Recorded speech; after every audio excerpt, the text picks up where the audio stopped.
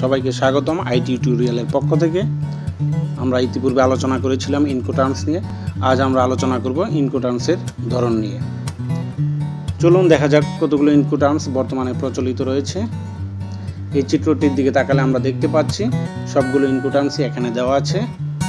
বর্তমানে যেগুলো প্রচলিত রয়েছে সেখানে দেখা যাচ্ছে যে ex work free carrier free alongside ship free on board, cost and freight, cost insurance and freight, delivered at terminal, carriage paid to, delivered at place, carriage and insurance paid to, এবং delivered duty paid ধীরে ধীরে আমরা সবগুলো ইনকোটার্মস নিয়ে আলোচনা করব।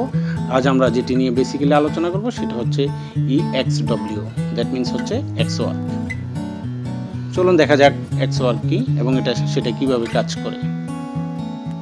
X work.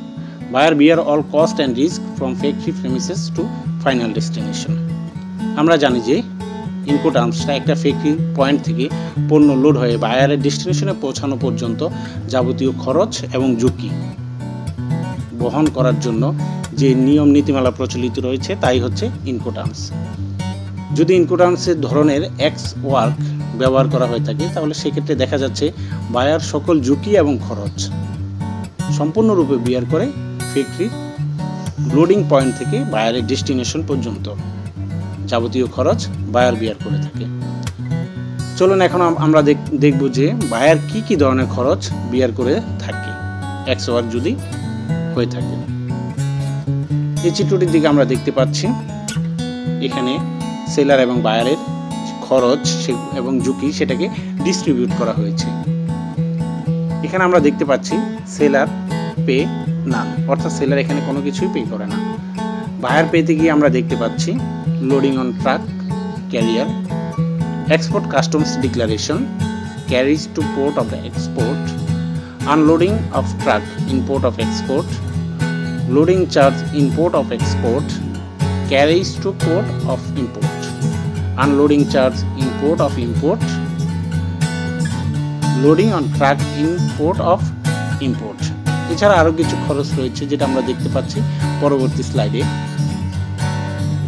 Carriage to place of destination insurance import custom clearance and import taxes অর্থাৎ একটা পণ্য ফ্যাক্টরি থেকে যখন বের হয়, সেখানে factory loading cost export custom declaration export কাস্টমসে good loading unloading charge carriage charge import ইম্পোর্টারের India import tax ইম্পোর্টারের পয়েন্টে বা লোডিং পয়েন্টে পণ্য আমদান আনলোডিং খরচ কস্ট সেই সাথে বাইরের ডেস্টিনেশনে পৌঁছানো পর্যন্ত যাবতীয় খরচ।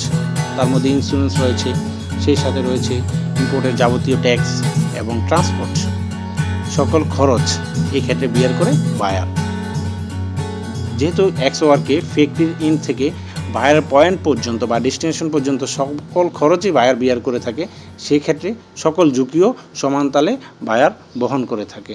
অর্থাৎ আমরা দেখতে পাচ্ছি, এক্স ওয়ার্ক হচ্ছে এমন একটি ইনকোটার্মস যার দ্বারা বায়ার সেলারের ফ্যাক্টরি থেকে নিজস্ব পয়েন্ট পর্যন্ত বা ডেস্টিনেশন পর্যন্ত পণ্য পরিবহনের যাবতীয় ব্যয় বিয়ার করে এবং ঝুঁকি বহন করে থাকে।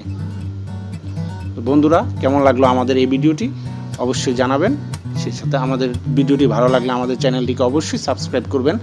অবশ্যই অবশ্যই শেয়ার করতে বলবেন না।